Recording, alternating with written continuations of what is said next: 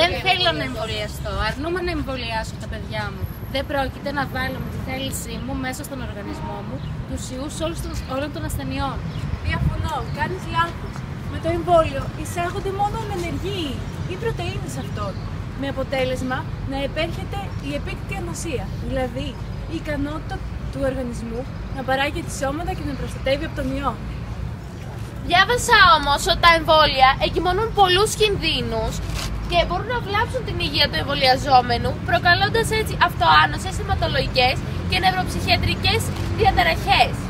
Αλήθεια, πού το διάβασες αυτό, σε ποια έρευνα αναφέρεσαι; Μία έρευνα για να είναι αξιόπιστη και συνεπώς να φέρει έγκαιρα συμπεράσματα θα πρέπει να έχει αξιολογηθεί ένα μεγάλο μέρος του πληθυσμού και επίσης θα πρέπει να έχει ερευνηθεί από ένα επιστημονικό και ιατρικό προσωπικό το οποίο θα φέρει έγκαιρα αποτελέσματα. Είμαστε από το ΤΕΙ της Μευτική. Κάνουμε μια ενημερωτική δράση μαζί με τα παιδιά με το Σύλλογο Φοιτητών του ΤΕΙ της Μευτική για τον εμβολιασμό. Ο εμβολιασμός τα τελευταία χρόνια έχει παρεξηγηθεί λίγο και έχουν δημιουργηθεί πολλά κακό κείμενα.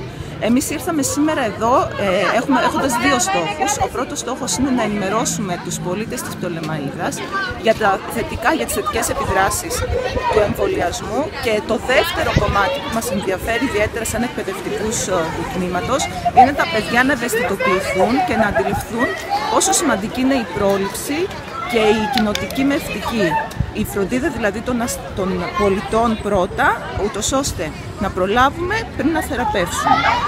Μιλούμε γενικώ για τον εμβολιασμό ή για συγκεκριμένους ε, τύπους εμβολιασμού; Μιλάμε, μιλάμε γενικώ για τον εμβολιασμό, γιατί το αντιεμβολιαστικό κίνημα το οποίο υπάρχει τα τελευταία χρόνια θέτει σε κίνδυνο τη δημόσια υγεία. Και το έχουμε δει, το είδαμε και με την ε, επιδημία της Ιλαράς, το είδαμε και με τη γρήπη.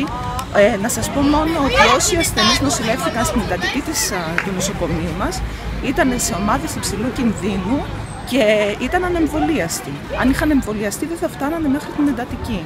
Ε, έχουμε οργανώσει και ένα θεατρικό μαζί με τα παιδιά που ουσιαστικά έχει την αντιπαράθεση ανάμεσα στο, στα επιχειρήματα κατά του εμβολιασμού και εμείς θέλουμε με επιστημονικό περιστατωμένο τρόπο πλέον να θέσουμε τα δικά μας επιχειρήματα υπέρ, της, υπέρ του εμβολιασμού. Επειδή έχει γίνει αρκετά μεγάλο το εμβολιαστικό κείμενο, θεωρήσαμε ότι είναι σημαντικό να ενημερώσουμε τον κόσμο για τον εμβολιασμό και να, να καταλάβει ότι είναι σημαντικό για αυτόν και ότι δεν γίνεται απλά για ε, λόγω συμφερόντων. Εσείς οι νέοι πώς, πώς βλέπετε, αύριο θα είστε και υπηρέτες της υγείας, πώς βλέπετε αυτό το Θεωρώ ότι είναι σημαντικό να γνωρίζουμε, ειδικά εμείς που το ψάχνουμε, έχουμε το ίντερνετ κτλ. Ε, ειδικά οι επιστήμονες υγείας είναι σημαντικό να ενημερώνουν τον κόσμο. Ε, είναι μεγάλη συμφορά, η, η συνεισφορά τους ε, και εμείς αποτελούμε ένα κομμάτι αυτών.